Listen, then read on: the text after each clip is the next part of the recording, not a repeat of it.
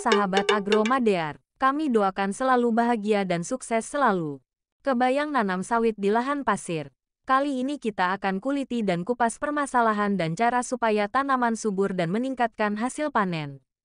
Lahan berpasir jelas merupakan lahan yang sangat tidak menguntungkan bagi perkebunan, karena daya ikat air sangat kecil sehingga apa pun pupuk yang diberikan akan terbawa oleh air dan tidak sempat berikatan dengan material di sekitarnya.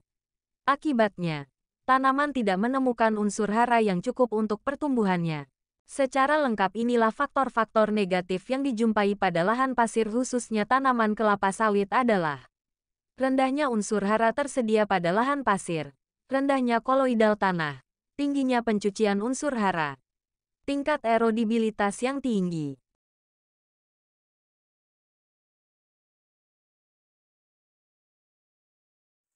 Oke teman. Agromader semua. Jadi yang kita lihat ini adalah lahan sawit dengan tekstur rata-rata atau kebanyakan berpasir. Nah bisa kalian lihat di sekitar permukaannya bahkan kelihatan pasirnya berwarna putih. Nah ini jelas kurang baik atau tidak baik sama sekali bagi tanaman apabila kita tidak melakukan upaya meningkatkan kesuburan tanah itu sendiri. Ini sawit usia hampir empat tahun teman. Memang eh, hampir setahun lebih ditinggalkan kurang dirawat.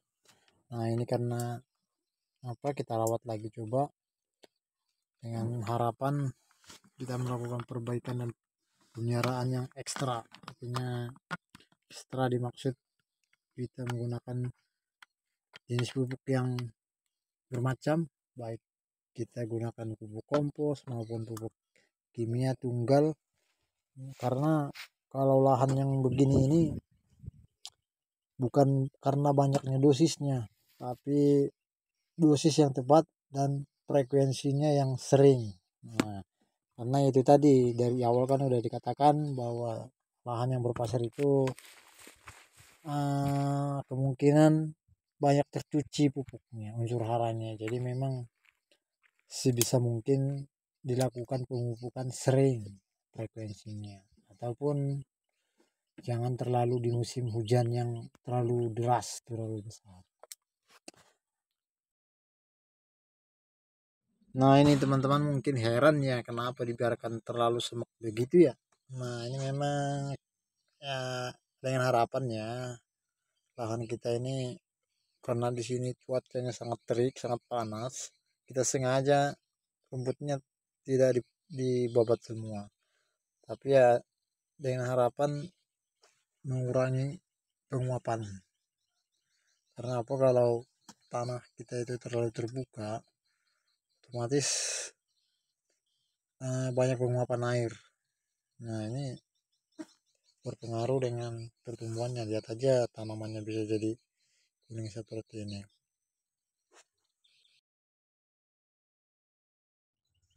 Sebenarnya kalau kita rajin telaten nah kalau lahan seperti ini kita bisa cepat buat subur ini tanah.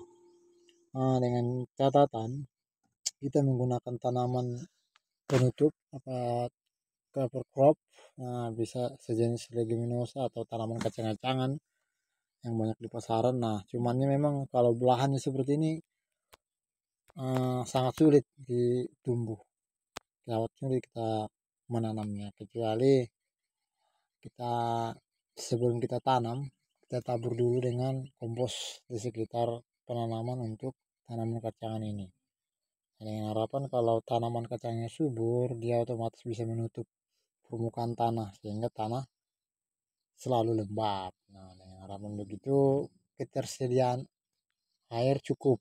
Nah artinya tidak tidak banyak air yang menguap akibat suhu yang terlalu ekstrim. Karena kita tahu kalau tanah yang berpasir itu menyebabkan tanah cepat panas. Teman agromadir semuanya jadi kalau kita lihat penyakit tanaman sawit itu yang pertama adalah kekurangan unsur hara. Nah, daunnya akan cepat kuning, hijau, hijau berubah jadi kuning dan berubah menjadi abu-abu. Menandakan itu tanamannya kurang air maupun kurang magnesium.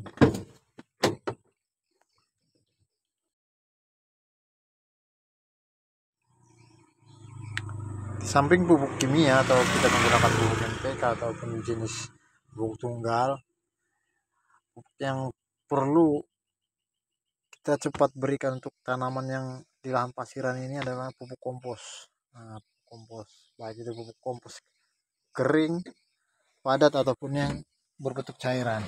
Karena apa? Dengan kompos dia akan membantu hmm, menyuburkan tanah. Selain dia menyediakan usus rara dia juga membantu menyuburkan tanah lewat adanya mikroorganisme yang terdapat pada pupuk kompos maupun pupuk cair anorganik yang kita berikan organik yang kita berikan.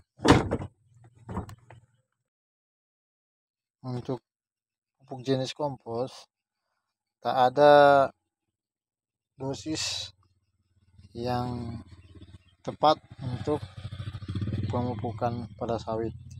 Tak ada istilahnya pupuk uh, dosis standarnya cuman yang perlu kita ketahui adalah semakin banyak kompos yang kita berikan semakin sering diberikan itu sangat menyuburkan sangat membantu untuk memulihkan kondisi tanah supaya cepat subur dan cepat membantu tanaman berproduksi bagus.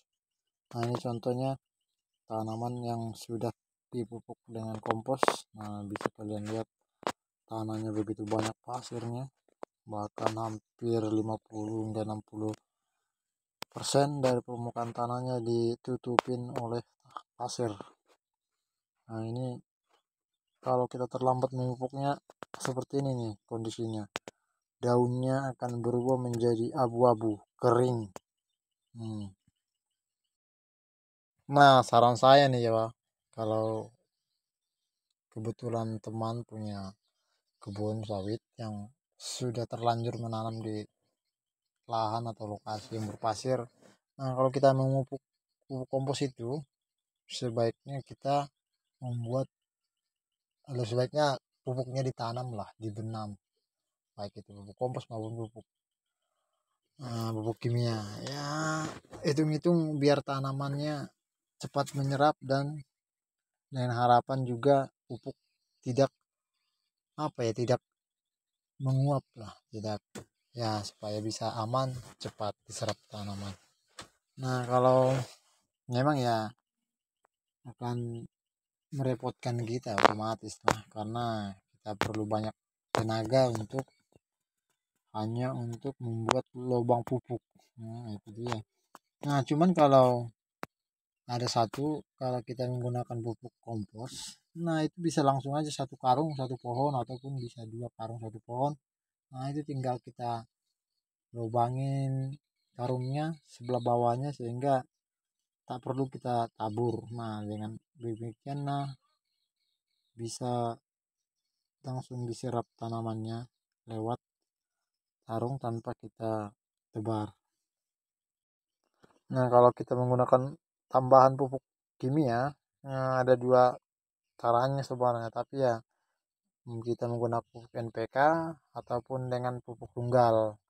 Nah kalau kita menggunakan pupuk NPK nah itu dengan dosis uh, di atas 2 kilo kilo per pohon. Kalau umurnya sudah sekitaran 5 ke atas 5 tahun ke atas. Nah kalau tunggal itu sama. Hampir satu kilo. Ureanya bisa 2 kilo per, per pohon. Nah itu sebaiknya kalau pupuk eh, pupuk kimia sebaiknya kita menggunakan pupuk yang tunggal. Karena apa? Semakin sering kita melakukan intens semakin intens kita memberikan pupuk nah semakin banyak yang bisa diserap oleh tanaman kecuali dengan tadi kita bisa langsung membuat lubang tanam. Itu tadi lubang pupuk. Nah kalau pupuk tunggal tadi nah itu kan kita memupuknya bisa dikatakan hampir tiap bulan.